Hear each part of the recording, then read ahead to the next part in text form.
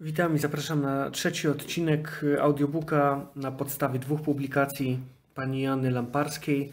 W tym tygodniu wracamy do książki Ten dom ma tajemnicę, Gra o tron, czyli Tajemnice Zagórza Śląskiego. Mam głębokie przekonanie, że ten zamek kryje jeszcze skarby. Nie takie wydumane z legendy, ale te prawdziwe. Każdy rok pokazuje, że o Grodnie tak naprawdę wciąż niewiele wiemy. Nie do końca jasne są jego początki, wciąż nie można znaleźć niektórych pomieszczeń znanych ze źródeł, a jest jeszcze historia z czasów II wojny światowej o ukrywaniu tu jakichś skrzyń z sekretną zawartością. Pewnego dnia zamek będzie musiał puścić. Wyrzucę to z siebie od razu i potem będę miała spokój. Po prostu im zazdroszczę.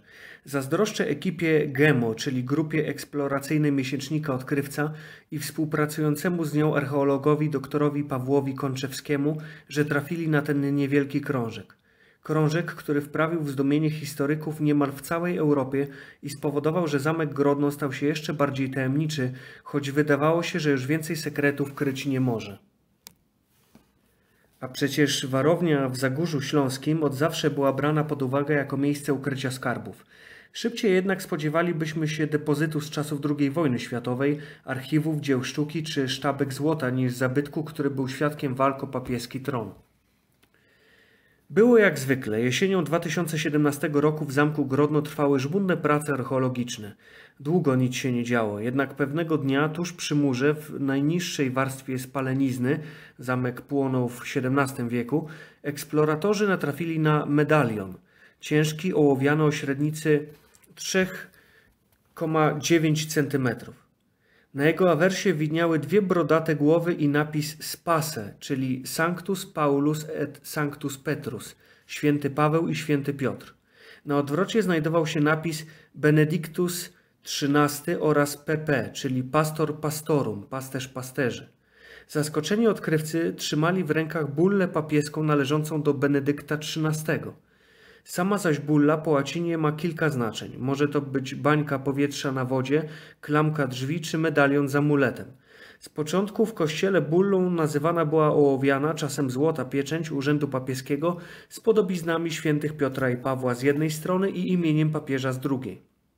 Za pomocą sznurka była przymocowana do ważnych dokumentów. Mniej więcej od XV wieku zaczęto tak nazywać każdy dokument papieski opatrzony pieczęcią. I tu pojawia się pierwsza niespodzianka, bo Benedyktów XIII było dwóch. Pierwszy z nich, Vincenzo Orsini de Gravina, żył w XVII wieku, drugi zaś, Pedro da Luna, cztery wieki wcześniej. Tylko dlaczego obydwaj przybrali to samo imię i mają taką samą numerację? Historia papiestwa jest równie skomplikowana jak historia świata. Wybrany papież, jeśli zgodzi się na pełnienie powierzonej mu funkcji, sam dobiera sobie imię w zależności od tego, który z pontyfikatów swoich poprzedników chce kontynuować. Jeżeli imię to było już wykorzystane przez któregoś z poprzedników, po prostu dodaje do niego kolejny numer. Logiczne więc, że nie powinno być dwóch ojców Kościoła o tych samych imionach i numerach, ale nawet wśród papieży zdarzały się sytuacje, nazwijmy to trudne. Kłócili się ze swoimi kardynałami, mieszali się w politykę, często walczyli, a nawet prowadzili wojny. To właśnie klucz do rozwiązania tej zagadki. Ekipa GEMO musiała więc znaleźć materiał porównawczy, żeby ocenić wiek powstania bulli.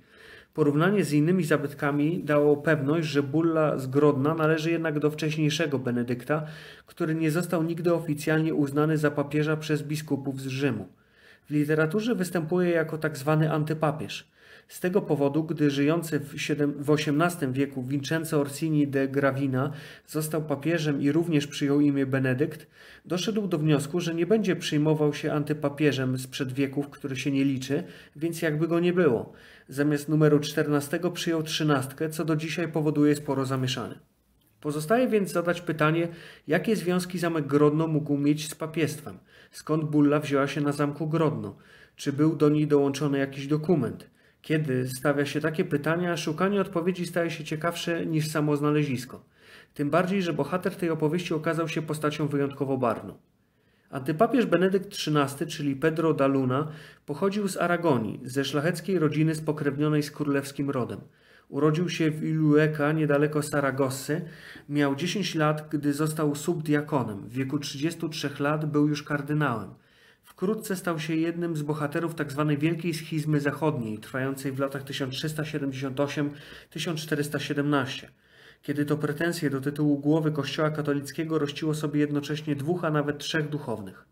To emocjonująca, ale dość skomplikowana historia, która zaczyna się na początku XIV wieku. Na czele kościoła stoi wtedy papież Klemens V, Francuz o dość niezdecydowanym charakterze, do tego chory na raka, cierpiący i chętnie uciekający od życia publicznego. Klemens jest całkowicie podporządkowany królowi Francji Filipowi Pięknemu, który w tym czasie walczy z templariuszami. To za czasów Klemensa powstaje m.in. słynny odnaleziony dopiero w 2001 roku pergamin Chignon, protokół z przesłuchania templariuszy oskarżonych o herezję. Jak wiemy, skończy się to procesem i kasatą zakonu, a na końcu spaleniem wielkiego mistrza zakonu Jakuba de Molay. W Rzymie tymczasem panuje chaos, hierarchowie walczą między sobą o wpływ.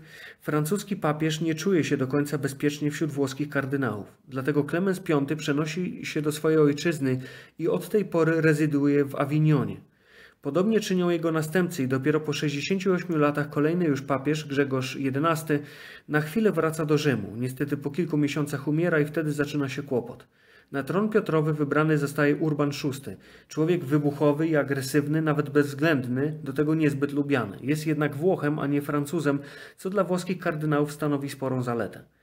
Rządy Urbano VI nie są owocne. Jego kardynałowie tworzą wrogie obozy. W końcu sprawy stają na ostrzu noża. Opozycja wybiera swojego papieża Klemensa VII, który natychmiast ekskomunikuje przeciwnika i przenosi się znowu do Awinionu. Ten sposób powstają dwa ośrodki papieskie, dwie strefy wpływów i zależności obiediencja rzymska i awiniońska. Konsekwencje są łatwe do przewidzenia. Europejczycy, europejscy władcy muszą się określić, po czyjej chcą być stronie. Obydwaj papieże ślą więc na dwory listy nawołujące do posłuszeństwa grają na czas. Po stronie antypapieża staje oczywiście francuski król Sabaudia, czyli ojczyzna Klemensa VII, Neapol, Szkocja, Nawarra, Aragonia i Kastylia. Końcu łamią się też niektóre państewka niemieckie, szczególnie te na zachodzie. Oczywiście nie bez znaczenia są zabiegi dyplomatyczne, groźby i kary. Kardynałowie zdają sobie jednak sprawę, że w kościele trzeba zrobić porządek. W 1394 roku następcą Klemensa VII zostaje nasz Pedro de Luna, czyli Benedykt XIII, który podczas wyścigu do tronu, jak i podczas konklawy cały czas wspomina o konieczności unii obu obiediencji. Jako, że Rzym ma swojego papieża, Benedykt deklaruje, że będzie gotowy zrezygnować ze stanowiska dla jedności Kościoła, słowa jednak nie zamierza dotrzymywać. Sam Zygmunt Luksemburski usiłuje zmusić go do abdykacji, ale nic to nie daje. W końcu od antypapieża odwraca się nawet Francja, a jego pontyfikat obfituje wiele dramatycznych epizodów, m.in. kilkuletnie oblężenie Avignonu.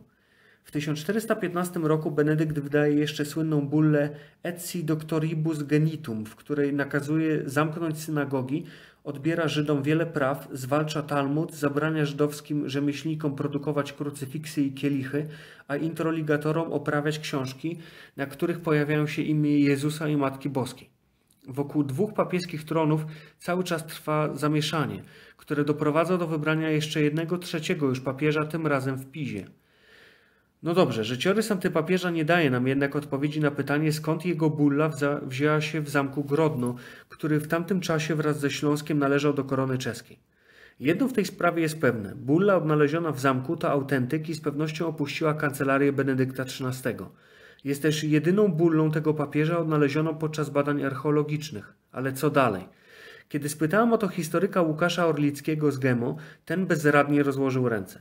Być może zaraz po objęciu nowej funkcji Benedykt XIII wysłał pisma w różne kraje, szukając sojuszników wśród przedstawicieli władzy świeckiej i kościelnej. Niewykluczone też, że bulla trafiła do zamku poprzez rycerzy rabusiów, którzy później rezydowali w Grodnie.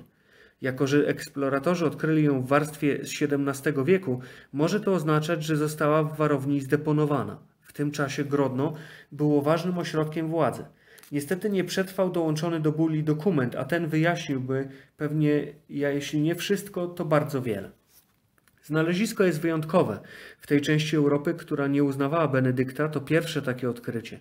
Jak tu nie kochać historii, potrafi pisać scenariusze lepsze od gry o tron, papieskie oczywiście. Jeśli jest w historii Pedro de Luny jeszcze jeden wątek, który dziwnie pasuje do Grodna. Antypapież zmarł w zamku Pensicola.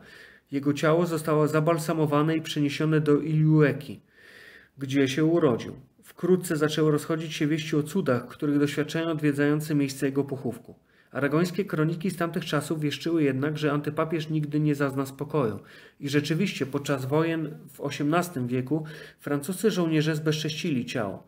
Pozostała tylko czaszka, która w 2000 roku została w tajemniczych okolicznościach skradziona, zaś złodziej, który zażądał okupu z, wysoko z wysokości mniej więcej 17 tysięcy złotych został złapany. A co to ma wspólnego z Zagórzem Śląskim? Zaraz się przekonamy. Zagórze położone jest w nieprawdopodobnym miejscu, na wschodnim krańcu Gór Wałbrzyskich w Kotlinie Bystrzycy, gdzie bierze początek pasmo kursowich.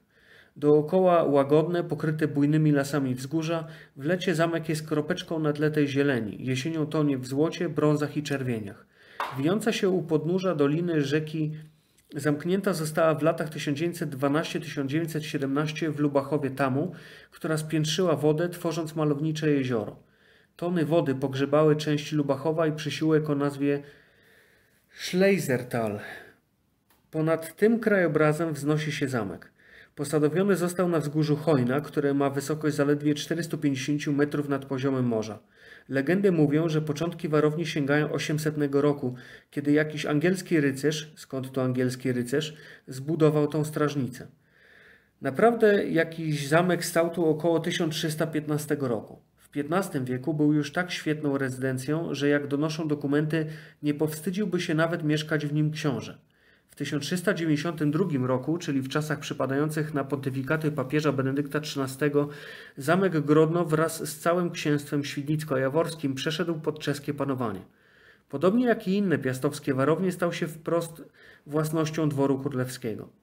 Do 1774 roku, kiedy zamek przestał być magnacką siedzibą, rezydowali tu i możnowładcy i rycerze rozbójnicy, mury niszczyli Szwedzi, wnętrza trawiły pożary.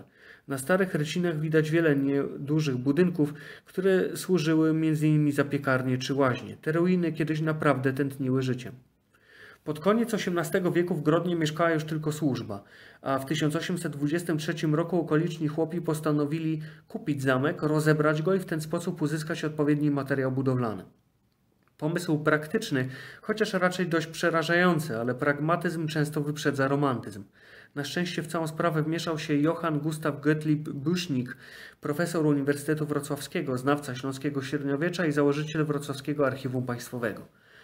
Buschnik był zafascynowany Grodnem i postanowił zawalczyć o jego ocalenie. Zabezpieczył zabytek i przytargał do niego Małgorzatę. Kim była ta panienka?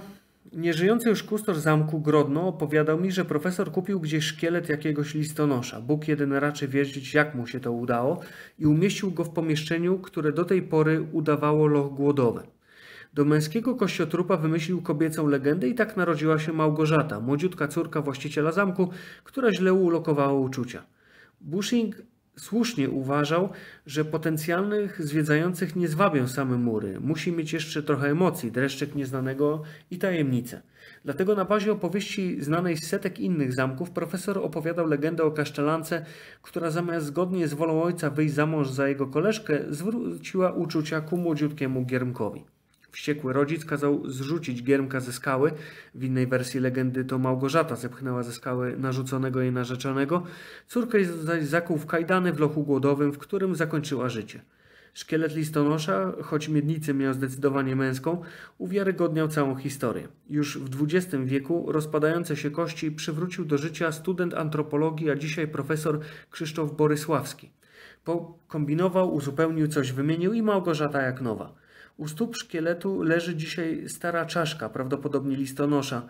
Ta zaś, która wieńczy dzieło, jest czaszką kobiety, której szczątki zostały odkopane na jednym ze stanowisk archeologicznych już we współczesnych nam czasach. Trudno więc powiedzieć, ile lat ma Małgorzata, część należąca do listonosza około 200. Reszta może kilkaset więcej. Szkielet nie jest tylko idealnym przykładem nowoczesnego marketingu, ale niemalże ikoną Grodna. No i podobnie jak szczątki antypapieża Benedykta XIII stracił własną głowę przynajmniej na jakiś czas. Odwiedziłem ekipę odkrywcy podczas pierwszej fazy badań, które zakończyły się e, odnalezieniem antypapieskiej bulli.